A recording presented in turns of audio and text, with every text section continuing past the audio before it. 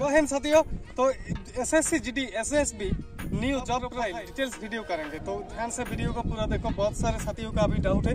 S S B में duty कैसा होता है? उसका खाना कैसा होता है? ड्यूटी टाइमिंग और सैलरी और मेडिकल फैसिलिटी और जो हमारा फैसिलिटी होता है जॉब के माध्यम से, वो डिटेल्स आपका क्लियर कर दूँ, ताकि एस एस सी मेडिकल जो पिछले साल बाकी है, मेडिकल के बाद आपका ज्वाइनिंग हो जाएगी। तो बिल्कुल ध्यान से वीडियो को देखो ये सब कुछ आपको जाना, जानना ज़रूरी है, ठीक है? तो एसएसबी में पहले आप जब ज्वाइनिंग करेंगे तो आपका तीन महीना तीन महीना नहीं, नौ महीने आपका ट्रेनिंग करवा जाएगा। नौ महीने आपका ट्रेनिंग होगा, उसके बाद आपका ज्वाइनिंग फिर से शुरू हो जाएगी, उसके बाद आपका सैलरी इंक्रीज होगा। तो ट्रेनिंग के चलते हमारा सैलरी होगा इक्कीस हज़ार से, मुझे जो फ़र्स्ट पेमेंट मिला था सैलरी तो इक्कीस हज़ार सात सौ से हमारा होगा, पैंतालीस हज़ार सात सौ तक हमारा सैलरी होगा। फिर आपका बहुत ही सैलरी होगा, उसके साथ आपका मेडिकल फैसिलिटी है, आपका क्वार्टर फैसिलिटी है, आपके फैमिली अगर आप लेकर जाना चाहते हैं तो फैमिली का फैसिलिटी है, उसके अलग एक वीडियो बनाएँगे। आपका खाना भी अच्छा रहेगा, खाना आपको तीन टाइम खाना मिल जाएगा ट्रेनिंग के चलते आपको सुबह, शाम और दोपहर। तो आपको बहुत ही अच्छा सुबह अच्छा खासा नाश्ता मिल जाएगा, दूध फ्रूट और रोटी उसके साथ, ठीक है? दोपहर में आपको कोई भी दिन आपको ज़्यादा से ज़्यादा का तरकारी मटन का करी और जो होता है एग चिकन मछली वगैरह आपको मिल जाएगा। बहुत ही अच्छा खाना है आपका। भात ही खाना होगा दोपहर में।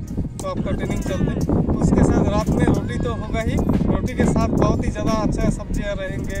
कोई भी जो कहता है मटर का चना का कोई एक सब्ज़ियाँ हो उसको आप अच्छी तरह से खाकर बहुत ही हेल्थी रह, रह सकते हैं। देखिए। फौज का बहुत सारा बंदा कितना टॉल फिगर होता है। ये खाना बहुत ही अच्छा है, इसका टेंशन मत ले। तो आपका सैलरी भी, जब भी आपका ट्रेनिंग हो जाएगी, सैलरी के बाद ट्रेनिंग के बाद आपका सैलरी होगा, बहुत ही इंक्रीज हो जाएगी। आपका सैलरी सपोज़ मान लो ट्रेनिंग के चलते आपको मिला इक्कीस हज़ार, ठीक है? Twenty one thousand. तो आपको जब भी ट्रेनिंग कंप्लीट होकर ज्वाइनिंग करेंगे तो आपको थर्टी थाउज़ेंड मिल जाएगा हैंड पे।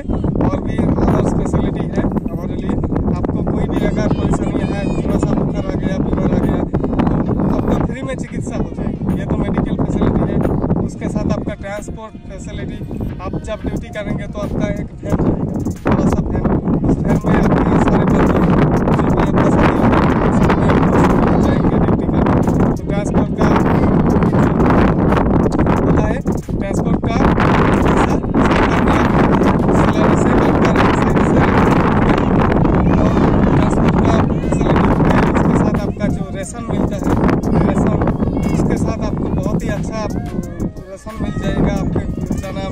मिलेगा किशमिश मिलेगा, आपका कोई भी अगर अच्छी तरह से चावल हो, चावल भी मिल जाएगा, आपका सब्ज़ी आप ज़्यादा से ज़्यादा मिल जाएगा।